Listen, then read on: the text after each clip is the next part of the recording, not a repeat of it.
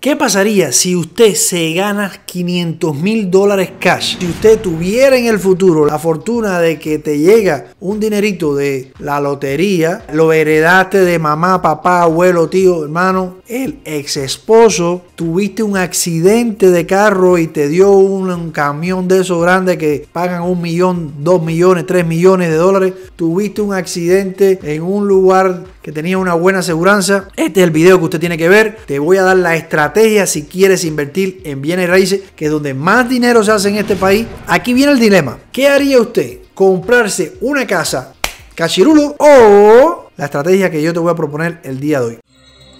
¿Qué pasaría si usted se gana 500 mil dólares cash? Yo sé que eso es como que nunca te va a pasar, pero vamos a decir que sí, que tú te ganaste la lotería, tuviste un accidente de carro, te encontraste 500 mil dólares en una botija. ¿Qué harías con ese dinero? Medio millón de dólares y bueno, ¿qué me compraré? ¿Por qué le estoy hablando de esto? Porque últimamente he tenido ya varios clientes que llegan a mi oficina porque por una razón o por la otra tienen cash medio millón de dólares o más. Yo te voy a decir, nunca he tenido la dicha de Diosito que me haya dicho aquí te fueron 100 pesos regalados. No, yo ni jugando la rifa, ni porque fui supervisor de las mesas de juego de uno de los mejores casinos aquí en Las Vegas, te puedo decir que tengo suerte en el, juego. Pero que sí te puedo decir es que Diosito me ha dado bendición para estudiar duro, para trabajar y para saber cómo hacer dinero. Y si no tengo suerte, pues entonces me ha tocado estudiar durísimo y saber cómo hacer mi primer millón de dólares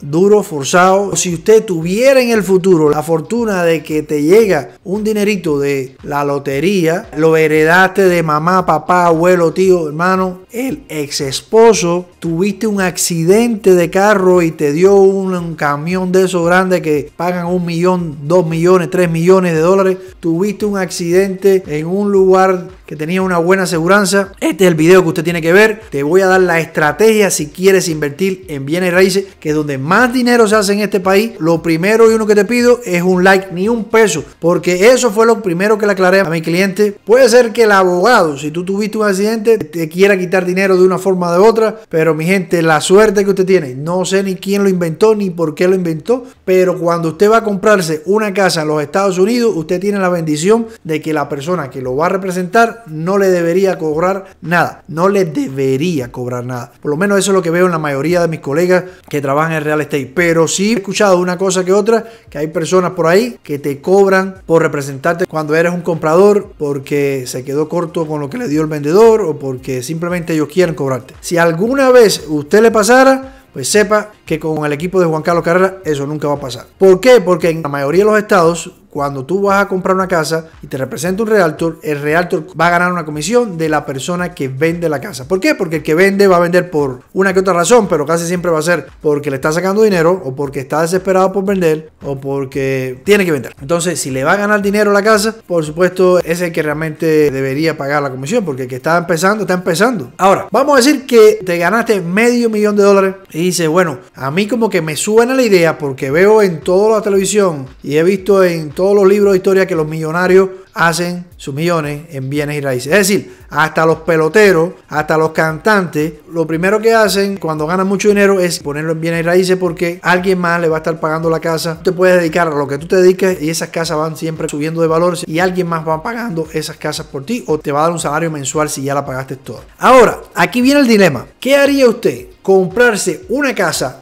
cachirulo, aquí está mi casa, me gané medio millón, dame una casa por medio millón, a vivir de gratis por toda la vida, o la estrategia que yo te voy a proponer el día de hoy. Me gustaría, porque este tema pudiera ser polémico, es decir, tengo amistades que me han dicho, oye, yo vivo encantado de pagar mi casa cash y he tenido clientes que también lo han hecho, pagan su casa cash. Ahora, yo les voy a enseñar cómo hice yo mi primer millón de dólares sin tener la suerte de ganarme medio millón de dólares. Esta fue la estrategia que le di para el último cliente que tuve en mi oficina y espero que si algún día te toque, bueno, yo te puedo hacer una estrategia para ti. Sí, esa persona se ganó medio millón de dólares, me dijo Juan Carlos, pienso gastar entre 300 a 350 mil dólares en una propiedad. Ya en, en Las Vegas, mi gente, por debajo de 250 mil, lo único que hay es la casita de juguete que tiene mi hija ahí abajo en su juguete y bueno, alguna que otra casa que se está a derrumbar. Ya no hay casa por menos de 250 mil dólares en Las Vegas. Quizá un apartamento, pero no le recomiendo un apartamento y los four es para qué hablar. Si un fourplex, que se quiere decir que tienen cuatro unidades, esos están por los 500, 600 mil dólares. Vamos a ver que de ese dinero vamos a separar 350 mil, es decir, como unos 300 mil para pagar una casa cash. No haya mucha, pero sí que te vas a encontrar una que otra, a lo mejor en un buen día. Eso siempre va a depender, no sé en qué momento va a estar este, viendo este video, eso va a depender del mercado, cómo esté, si es un mercado de vendedores, un mercado de compradores.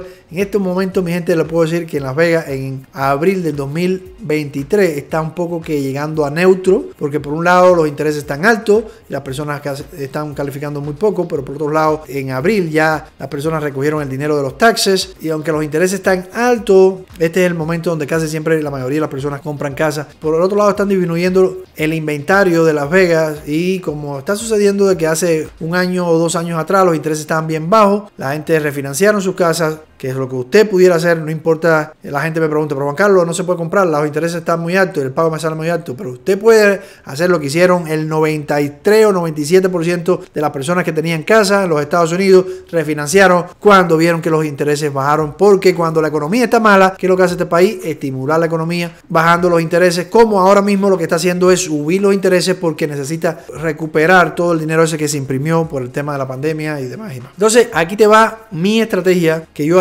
con ese dinero en vez de comprarme una casa de 350 mil dólares cash? Esto es lo que le voy a recomendar. Te voy a decir que puede ser que te pase igual que el último cliente que tuve, que tenía mal crédito y en este momento no va a poder hacer la estrategia que yo voy a hacer. Mientras tanto, él lo que va a hacer es hacer un flip, es decir, para los que no saben qué cosa es un flip, lo que va a hacer es comprar una casita en malas condiciones con alrededor de 300 mil y va a dejar alrededor de 50 mil para las reparaciones, para cualquier emergencia y el otro resto del dinero, bueno, para que lo tenga ahí por si la mosca o lo que él quiera hacer pero bueno, él quiere reproducir ese dinero en lo que recupera su crédito. Pero una vez que ya recupere su crédito, porque eso es una de las cosas que yo les voy a estar ayudando poco a poco, lo que va a hacer es lo siguiente. Bueno, aquí están esos 300 mil dólares para comprarse una casa. Y bueno, me imagino que si usted va a hacer lo que va a hacer este último cliente que tuvo en la oficina, que no tiene buen crédito y no puede ser el segundo plan que le voy a enseñar ahorita, usted lo que tiene que hacer cuando va a comprar una casa para invertir, lo que tiene que hacer es comprar una casa de inversión. Eso no importa que sea bonita, que sea fea, que esté en una mala área, lo que tiene que darle es razón los números. Es decir, lo tienes que comprar a un buen precio, tienes que cuadrarte los números y después tienes que calcular cuáles son todos los gastos que tienes que tener involucrados a la hora de la venta. Para que no te pase, compre y aunque sí tenga un margen de 50 o 100 mil dólares, bueno, tienes que tener en cuenta cuáles son los gastos involucrados cuando vas a vender una casa. Por ahora, vamos a decir que ya mi cliente recuperó el crédito y esto es lo que le voy a proponer. Vamos a decir que usted compra una casa en 300 mil y qué es lo que le va a quedar de esos 300 mil. Bueno, ahí como una casa de 300 mil puede ser que la puedes rentar como de 2000 a 2500. Máximo reventado. Perfecto, la reventaste de 2500 y te tienes una entrada de 2500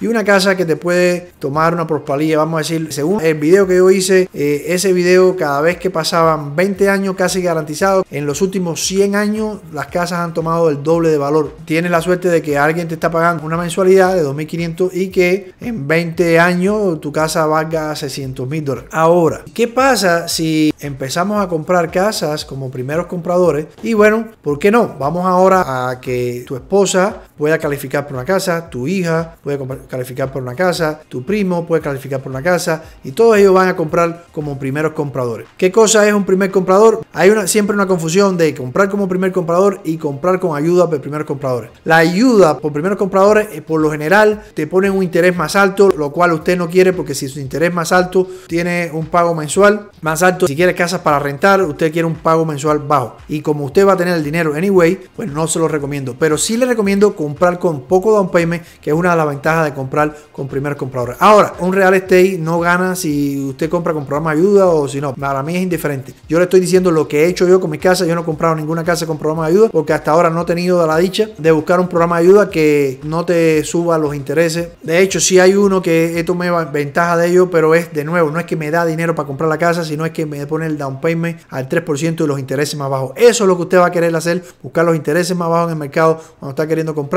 Aquí te va la estrategia. Vamos a decir que esta es mi primera casa que voy a preparar a mi esposa, a mi hija, o sea, alguien de confianza y puede comprar como primer comprador. Vamos a decir que con el 3% de un programa de esto que te da solamente que puedes pagar el down payment 3%. Casi siempre tienes que tener en cuenta que los costos de cierre es alrededor de, puede ser entre un 2.5 al 3% del valor de la casa. Para los ejemplos de este cálculo, vamos a tomar el 3%, que es el máximo. Entonces vas a comprar una casa con el 6%. Es decir, entre una cosa. Si tienes la suerte de comprar en estos momentos que estás viendo este video, puedo ayudarte a que esos 3% lo pague el vendedor, porque en estos momentos encontramos vendedores que dan los costos de cierre. Pero bueno, vamos a decir que en el peor momento que usted está comprando es un, mercado neutro, que no es ni de vendedores ni compradores, pero que no te pagan los costos de cierre. Te compró una casa con el 5%. Estoy hablando del down payment más los costos de cierre, mi gente, para que no se me confunda, porque eh, cuando usted va a comprar una casa tiene que poner el down payment, que ese dinero es suyo, solamente que usted se lo va a poner en la casa y eso es lo que requieren los bancos aquí en este país, que tenga al menos un down payment para saber que usted es responsable, que sabe ahorrar dinero. Y bueno, los costos de cierre es lo que usted tiene que pagar al banco por prestarle ese dinero. Los millonarios no se hacen millonarios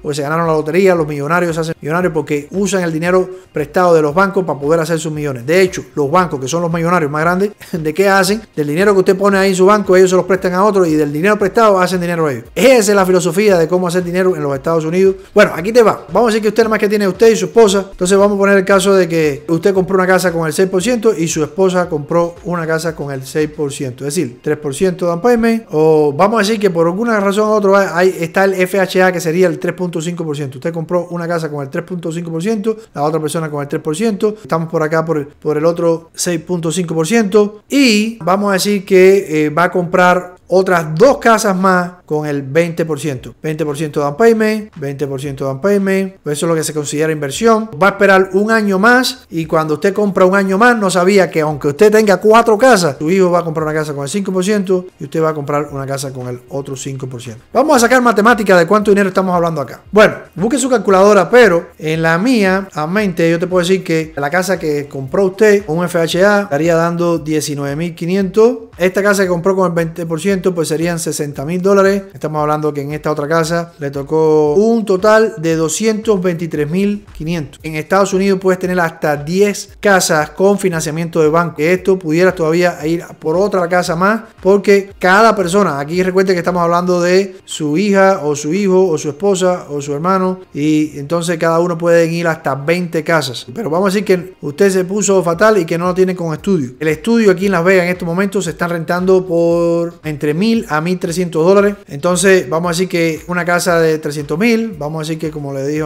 anteriormente, eh, puede ser que le cueste entre 2.000 a 2.500. Vamos a decir que le costó 2.500. Vamos a decir el peor de los casos. De hecho, vamos a buscar una calculadora. Bueno, aquí está, como le decía, si usted pone 20% en una casa de 300 mil, pues sería 1.893 al 6.525, en dependencia de cómo usted tenga su crédito y demás. La diferencia es que cuando usted pone 20%, pues no tiene que pagar PMI, entonces sería 1.893. Y los taxes de la aseguranza aquí en Las Vegas son mucho más baratas que los que pone Silo. Para eso es independencia del valor de la casa. La, aseguranza, pues también mucho menos. Vamos a dejar los taxes porque vamos a ser que usted le tocó la mala suerte. Pues bueno, por lo menos está por los 1800 y algo. Eh, esto para que usted le dé una idea. Pero si su down payment sería de menos, vamos a decir que sea el 3.5%. Entonces, eh, si fuese como unos 2000, 2100. Si usted pone el 3%, estamos hablando de como unos 2100. Pero bueno, usted tiene una renta de cada una de esas casas que vale entre 1800 a 2100. Vamos a poner el caso 2100. Usted renta un estudio en 1000 dólares, pues solamente le quedaría que, mi gente, 1100 dólares por pagar. Entonces usted rentaría la casa por 2000 dólares y le quedarían unos 900 dólares por cada casa. Si usted se aferra a buscar esas casas con ese criterio, usted va a estar recogiendo de pura ganancia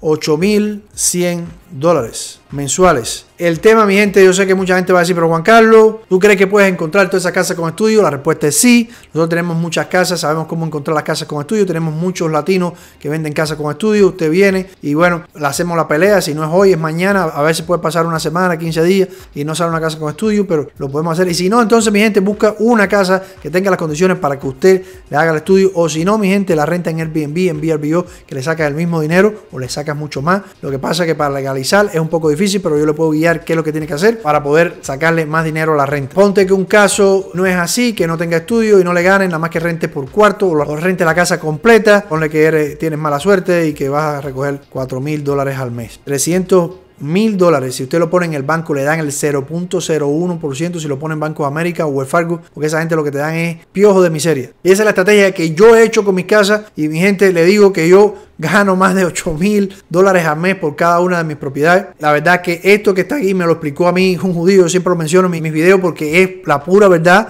y esto que está aquí es alcanzable. Esa es la estrategia que yo le doy a mis clientes que compran conmigo. Así que si usted tiene la oportunidad de ganarse ese medio millón o por casualidad usted quiere hacer lo mismo que yo y empezar a, comprar casa, porque yo no si no tuve el medio millón y yo lo que hice fue esperé que una casa tuviera equity y la fui rentando y después con el dinero que tuve, si tengo un, buen trabajo y me estaba dando buen dinero, entonces con ese mismo dinero pues comprar mi meta, pues sigo comprando casas y eso es lo que mi gente puede darte que tú puedas lograr el sueño americano y la idea, lo mejor, no lo he dicho aún, lo mejor de comprar casas en los Estados Unidos es que las casas siempre han subido de valor. Y en el estudio del video que les conté, que hice yo la matemática, cada 20 años ha subido desde el, doble el valor de la casa o muchas veces más, otras veces ha subido hasta el triple y el cuádruple. Depende de qué, de qué mercado y en qué momento usted compra la casa. Esto es lo que usted puede hacer con poco dinero, eso es lo que se llama en inglés leverage, apalancamiento, creo que en español, cómo trabajar con dinero del banco este solamente es un ejemplo que le pongo acá, pero para este ejemplo vamos a decir que em, pasaron 20 años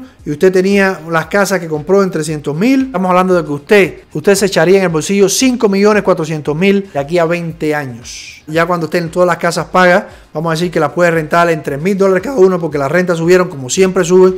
Usted va a estar recogiendo nada menos y nada más que 27 mil dólares mensuales de renta de casa cuando usted sea un viejito. Dígame usted, ¿qué realmente usted está esperando? ¿Usted quiere el retiro de un casino que son 40, 50, no sé, el, el más afortunado 60 mil dólares?